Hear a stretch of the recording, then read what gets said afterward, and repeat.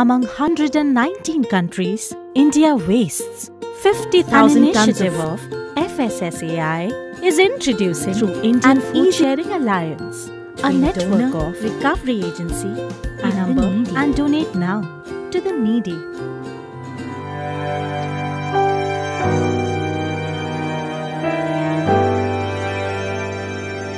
Thank